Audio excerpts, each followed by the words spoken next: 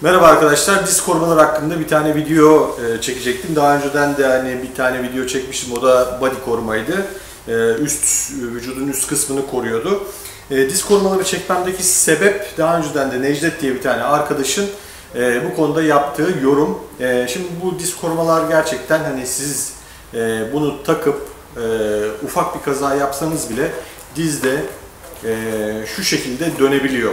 Yani vurduğunuz çarptığınız anda dönebiliyor. Veya asfaltta e, bununla e, diyelim sürüklendiniz. E, bu tabii ki dönüyor. E, ve dizinizin üstünde sürükleniyorsunuz veya bacağınızın üstünde sürükleniyorsunuz. Bunları unutmayın. Özellikle bunları tekrarlıyorum.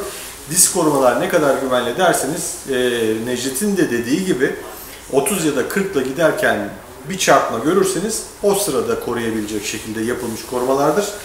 90 ile giderken yine Necdet'in dediği gibi diyorum 90 ile giderken bunlar ayağınızdan çıkar, sürüklenirsiniz e, ve çok da fazla işe yaramaz. Şimdi bunların çeşitlerine gelelim. Ne gibi çeşitleri var?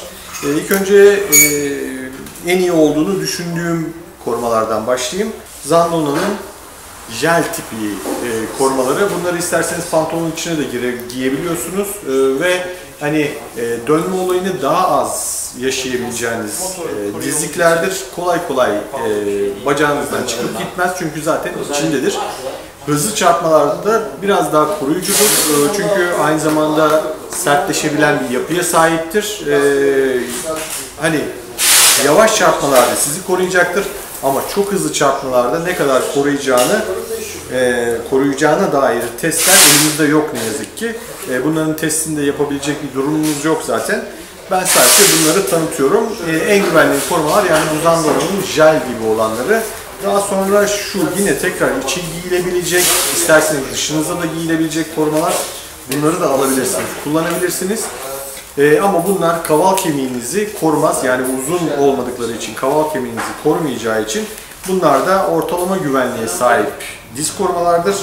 Ee, daha fazla koruma istiyorsanız ve yani e, mafsallı bir koruma istiyorsanız e, bu korumaları alabilirsiniz. Bu kaval kemiğinizi de koruyacaktır. Dizinin üstünüzü de dizinin e, yuvarlağını da e, işte eklem yerini de koruyacak şekilde yapılmıştır.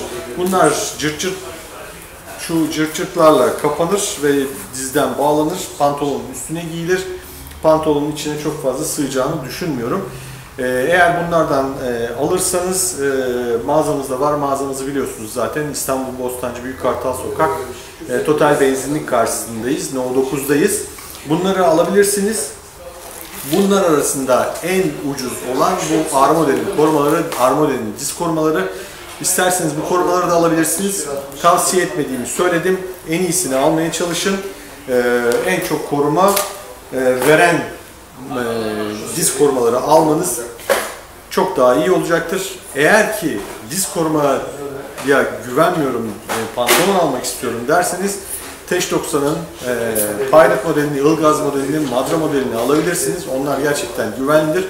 Çünkü onların hem kalça koruması var, e, hem e, işte kevlar bir kısmı var. O kevlar kısmı sizi asfalt yanmasına göre koruyor. E, aynı zamanda hani sürtünmeye karşı koruyor. Çünkü özel dikişli yapmışlar adamlar ve zaten dünyaya satıyorlar. Bunlardan alabilirsiniz. Çeşitlerini ben sunuyorum. Çok güvenmediğimi söyledim. Güvendiğimi söyledim Zandona'nın bu korumalarına. E, Pro'yle'nin e, bu masallı dizlikleri de alınabilir çünkü oturuş pozisyonunuza göre e, şu şekilde katlanabiliyor. Bunlardan alabilirsiniz. E, ve e, Necdet o hatırlattığın e, yazı için çok teşekkürler. Ben de en azından bir tane video çekmiş oldum. Detaylı bilgilendirmiş oldum. Umarım e, yararlı olmuştur. Hepinize iyi sürüşler.